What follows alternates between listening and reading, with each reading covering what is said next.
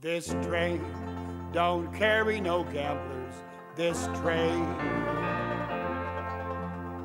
This train don't carry no gamblers. This train. This train don't carry no gamblers, no crap shooters or midnight ramblers. This train don't carry no gamblers. This train.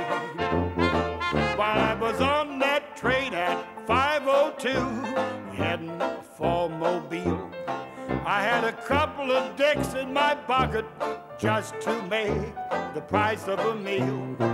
Well, I threw them on the blanket and they started doing tricks. I was on that train at 502, they threw me off at 506. Well, this train don't carry no gamblers. This train, this train, this train don't carry no gamblers. This train, this train, this train don't carry no gamblers, no crap shooters or midnight ramblers. This train don't carry no gamblers. This train, this train.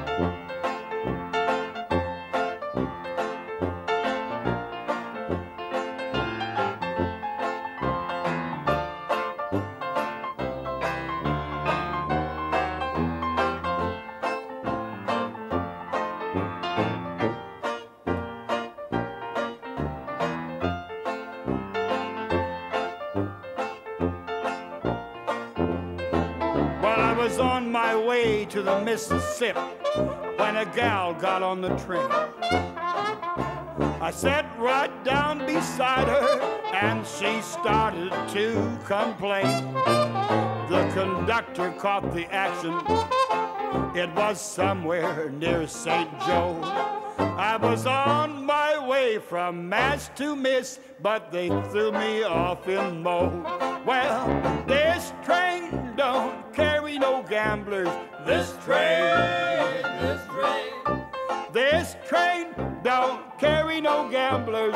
This train, this train, this train don't carry no gamblers, no crap shooters or midnight ramblers. This train don't carry no gamblers. This train.